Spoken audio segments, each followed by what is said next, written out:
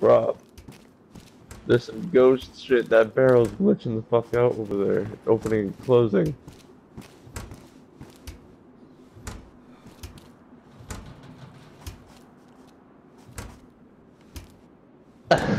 Unless somebody's on the outside of the wall just posing or something, trying to get you out. Oh, who's Callie Cush?